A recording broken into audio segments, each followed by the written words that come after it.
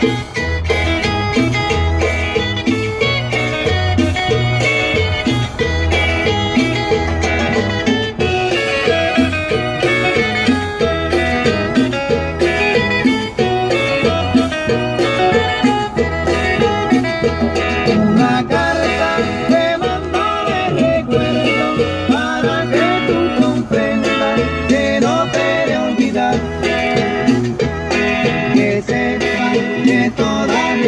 un saludazo para todas estas personas que están viendo este video.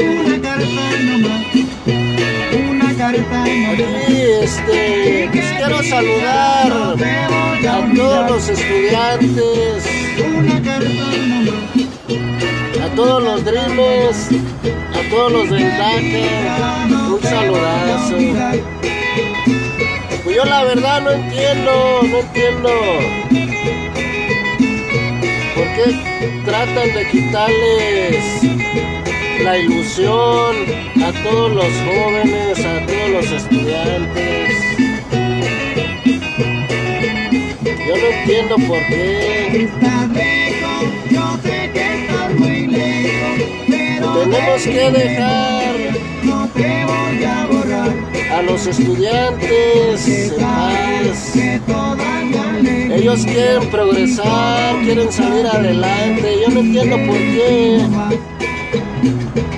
¿Por qué quitarles ese sueño a todos los jóvenes, a todos los jovencitos que tienen ganas de superarse, de salir adelante? Yo no entiendo por qué se mete tanto la política en las vidas de los jóvenes, en todos los estudiantes. ¿Por qué quitarles ese sueño? No entiendo por qué la política se mete en las vidas ajenas. Dejen soñar a los jóvenes, a los estudiantes que ya de veras tienen ganas de progresar, de salir adelante. yo no sé por qué se mete mucho la política en las vidas ajenas. Una carta nomás Quiero platicarles esta mañana. y que diga no te voy olvidar. a, un, a una gasolinera a cargar este dice- y me encontré a una muchacha muy triste y me pregunta la muchacha, oigan, si supo lo de las noticias, este, pues que quieren cancelar este lo del DACA. Y le digo, no, pues la verdad no, no me di cuenta qué fue lo que hubo en las noticias. ¿Qué pasó? Me dice ella muy triste. Me hace llorar. Pues es que ya nos quieren cancelar lo del DACA. Pero que ¿verdad que no nos van a sacar a 800 Y no puedo mil personas o más de este país? Oye, las noches Yo no, no creo. No se si acuerdan desanime, de mi esté logro porque ante todo siempre va a haber alguien más que todos. Y ese es mi Padre Dios.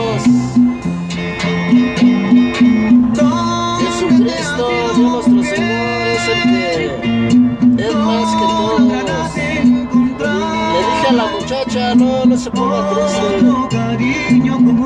Es que yo no entiendo por qué la política se mete mucho en las vidas de los jóvenes.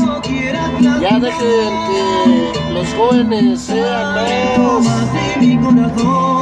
¿O cuál es el miedo? Que los jóvenes progresen, que los jóvenes se superen, que los jóvenes sean profesionales. Yo no entiendo cuál es el miedo de los políticos. Ya dejen que los jóvenes sean ellos. Por lo que veo, yo veo que hay miedo. Que hay mucho miedo que los jóvenes se superen y, y sean algo más que hasta uno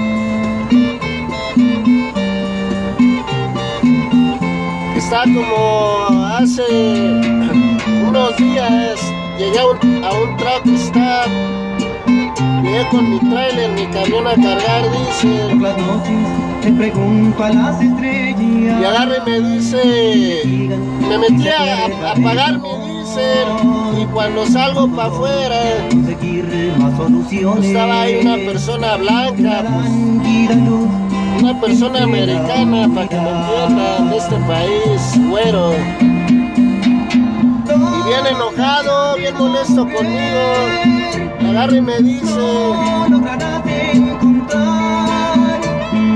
Me dice, oye mexicano, ¿por qué no te devuelves a tu tierra? Tú, e- eres un mojado. Y yo lo que le dije, yo pienso que el mojado eres tú, porque toda tu descendencia proviene de Nueva Inglaterra. De, allá de Nueva Inglaterra, pues proviene toda tu descendencia. Yo, yo estoy en Colorado. Y Colorado era de México. Alguna, algún, alguna, no sé qué margen de Colorado. ¿Qué parte total era de, de México? Lo que es Nevada, Nuevo México, Texas, California. Así que yo estoy en la descendencia mexicana, que era territorio mexicano. sensacional. Se molestó el güero, el americano. Y le dije, pues tú eres más mojado porque tú tuviste que cruzar un océano muy largo. Porque toda tu descendencia proviene de Nueva Inglaterra. Así que el mojado eres tú, no nosotros. Nosotros estamos pisando suelo mexicano, territorio que fue despojado por ustedes a la mala. También despojaron a los indios americanos y a muchas personas, así que no te molestes. Eso fue lo que yo le dije al americano, al güero.